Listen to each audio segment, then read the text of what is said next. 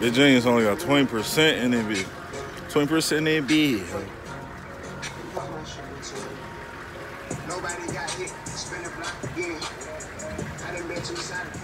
This nigga is DJing at the quick trip. Yo. Yo, nigga at the quick trip. Nigga. Nobody at the show. It's Big J's before the fight. My opening DJ was homeless.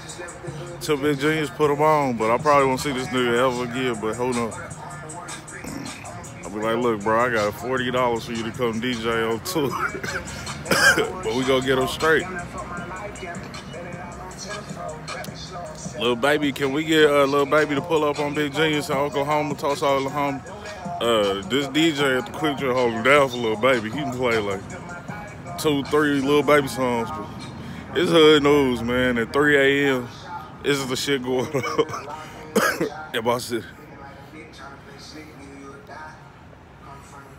Got the Dragonzord back there, man. Don't ever touch the Dragonzord. Y'all see it? The Dragonzord in the fire lane. Don't put no hundred dollar ticket on. I still ain't paid my hundred dollar ticket. It's probably two hundred by now. The jeans need to get checked, so I can pay these goddamn ticket fees.